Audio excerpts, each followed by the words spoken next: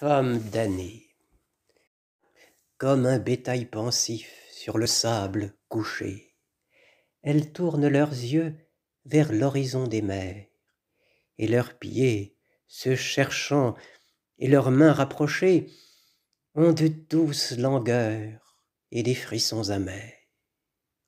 Les unes, cœurs épris de longues confidences, dans le fond des bosquets où jasent les ruisseaux, vont épelant l'amour des craintives enfances et creusent le bois vert des jeunes arbrisseaux.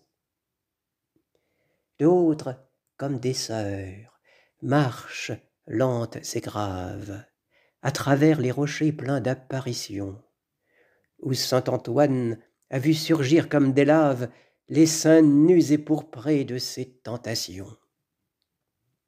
Il en est aux lueurs des résines croulantes, qui dans le creux muet des vieux antres païens t'appellent au secours de leur fièvre hurlante, ô Bacchus, endormeur des remords anciens.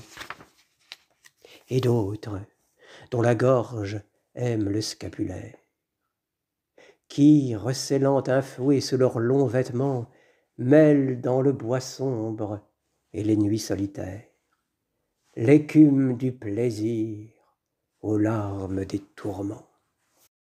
Ô Vierge, ô démon, ô monstre, ô martyr, de la réalité, grands esprits contempteurs, chercheuses d'infini, dévotes et satires, tantôt pleines de cris, tantôt pleines de pleurs.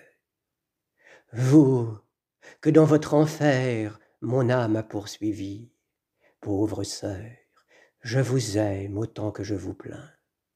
Pour vos mornes douleurs, vos soifs inassouvies, et les urnes d'amour dont vos grands cœurs sont pleins.